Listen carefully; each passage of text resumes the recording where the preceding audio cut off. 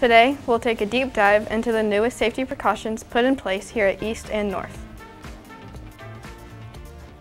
We'll cover the highlights of this year's Community Street Festival taking place in downtown Columbus. We'll, we'll cover sports. We'll cover the latest in sports, including dates and upcoming games. All that and more in this edition of Torch TV.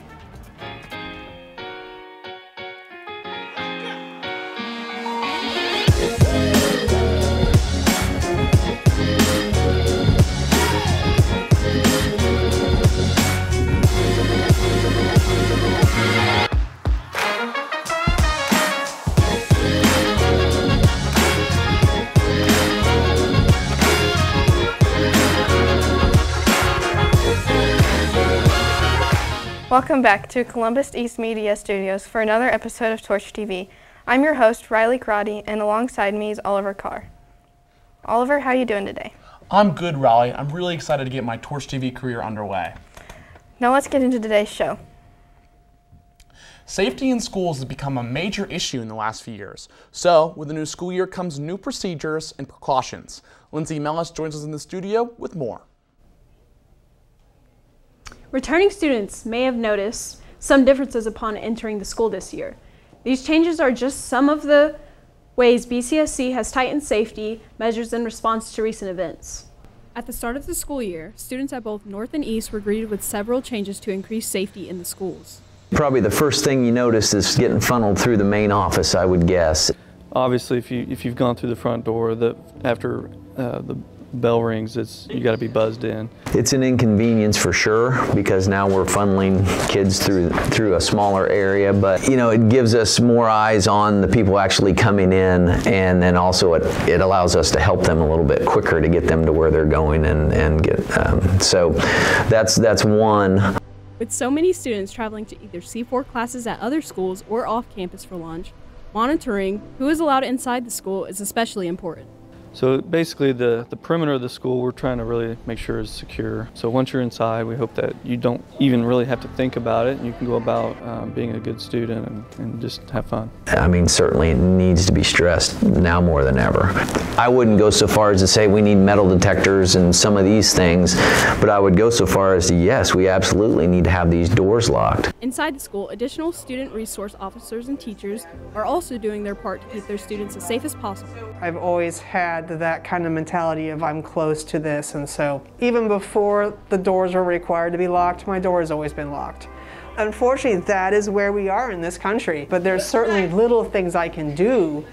So, I mean, I have been doing this for a number of years. In the past year, it has become more important than ever for both staff and students to continue to follow the new safety guidelines and to be aware. We do a lot of great things, uh, and in, in years past, we've been doing good things. Um, and so the difference maybe between last year and this year is again some, some recent events um, and other times where we learn from those. Okay, so they're not um, events that we brush off lightly. To not talk about it and pretend it won't happen is not taking advantage of that time that you have to get people prepared. I mean, obviously it's a horrible thing to have to talk about, but I think it's better to have put that out in the open and say, what could you throw at somebody right now? Both officers have seen positive responses to the new changes and hope to see that continue throughout the school year. Lindsay, if a student happens to see something out of place, who should they go to?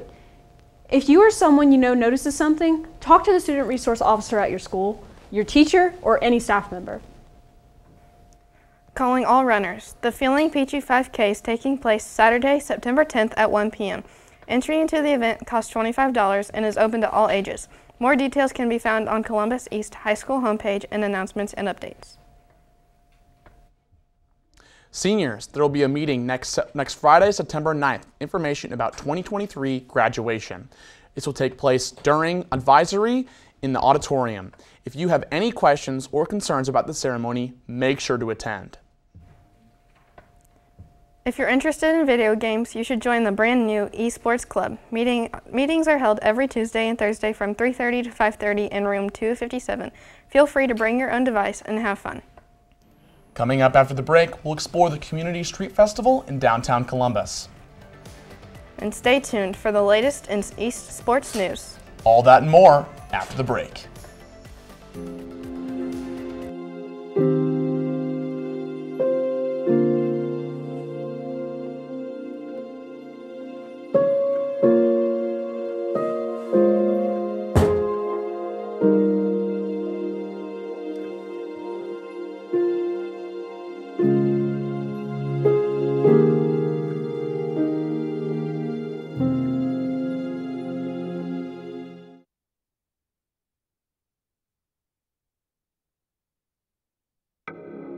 Teens tend to develop a sense for who they should be through social media.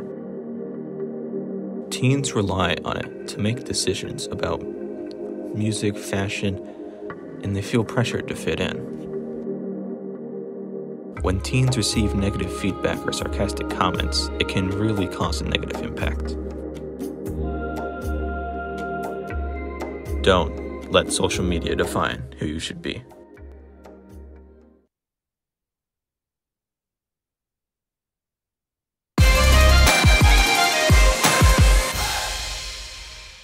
On Friday, August 19th, First Christian Church, the Public Library, Lincoln Central Family Neighborhood Center, and the Council for Youth Development hosted a festival in the middle of downtown Columbus. There were activities for all, such as food trucks like Taco Columbus and Kona Ice, nationally renowned magi magician Zach Mears, and other activities dedicated to younger kids. One of the largest events of the night was a dunk tank where people had the opportunity to dunk First Christian Church pastor Steve Yetten and our very own BCSC Superintendent Dr. Roberts. The cost for each throw was a canned good, which was then donated to the blessing box outside First Christian. It has been difficult to create socializing opportunities for the past two years, so the Community Street Festival was an accessible way to welcome people back together. The Street Festival uh, kind of started out with a back to school idea for First Christian, and we was, really just thought it would be neat to take it out to Don't the streets and to partner with some other organizations that really care about youth. So, kind of wanted to do something that was fun and about our community and not about just one organization. So we just want to provide opportunities for children, youth, and adults to get to interact with each other, meet each other, and have a really good time. It brings together people from all walks of life. Sometimes families don't have the same financial opportunities that others do, and so they need things that are a little bit more cost effective. And that was a wonderful thing about the Community Street Festival is that it was free and open to the public. I think it's a great fun way to start out the school year and just a time to get together and celebrate that we love Columbus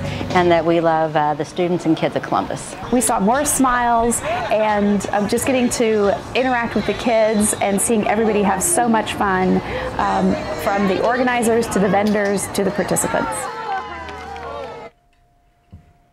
Families of veterans experiencing financial hardships can apply for $500 per dependent child to help with back to, back to school expenses. Students must live in a veteran's home. The deadline is September 15th, so be sure to apply as soon as possible. The website is in.gov forward slash DVA. We're one month into the school year and fall sports are in full swing. Got a lot coming up this week, so Andrew Jones is here to give us the play by play.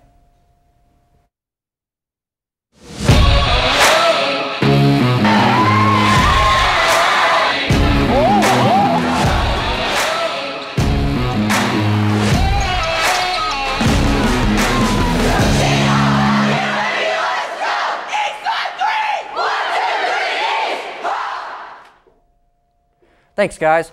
Tonight, your Olympians have several matches against rivals.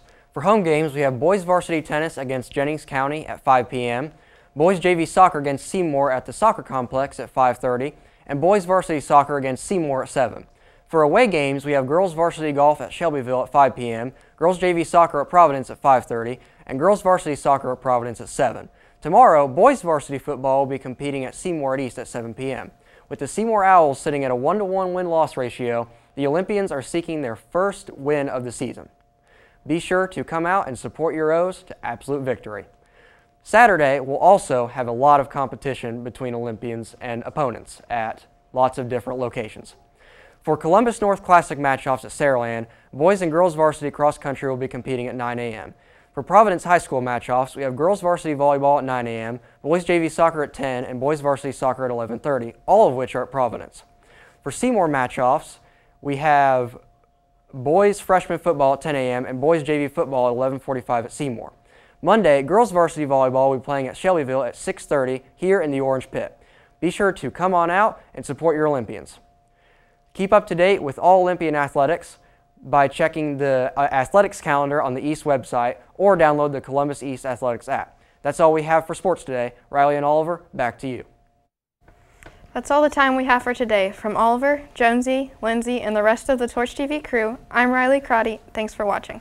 And as always, try to be the best part of someone's day.